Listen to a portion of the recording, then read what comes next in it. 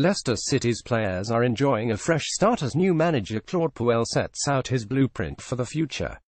The Frenchman had just two days to work with his players before his first game in charge, the 20 win over Everton. Puel now has a full week to get to know his squad better and begin to shape the team towards his vision for the club. The 56-year-old made an early indication that he wants to give youth a chance with his decision to start both Demarai Gray and Ben Chilwell against Everton.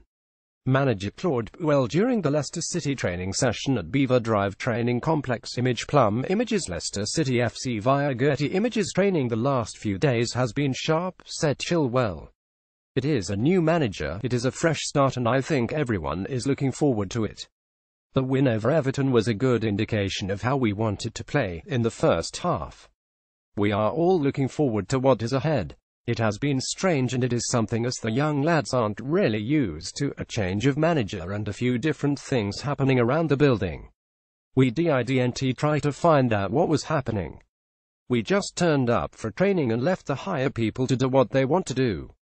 There is that uncertainty but also you have to look at it as a chance to impress the new manager. I think everyone has done that. Harry Maguire only joined the club in the summer but is already working under his third manager, following Craig Shakespeare, caretaker boss Michael Appleton and now Puel.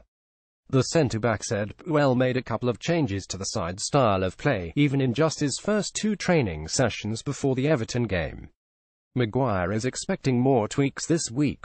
It is always strange when you change a manager, said Maguire. You have to get used to new people and new philosophies, but the boys here are great and they have great team spirit. They just dig together and as you have seen against Everton, the new manager has come in and changed a few things about the way we play and I am sure we will change a lot more between now and the next game. He has had just a couple of days but we have a full week now until the next game and then we have an international break and I am sure he will get his ideas across.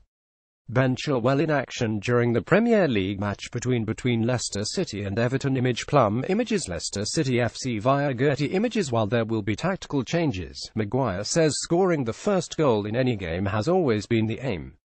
City have only scored first in three Premier League games this season, and they have gone on to win all three. Maguire described the victory of Everton, which lifted City up to 11th in the table ahead of Saturday's trip to Stoke, as a professional job. He wanted a fast start and that is what we got, he said.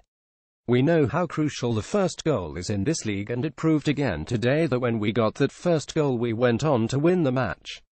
We got the fast start we want and in the second half we did a professional job. Although they had a lot of the ball they didn't create many chances. Maybe we could have done better with the ball ourselves in the second half but it was a professional job.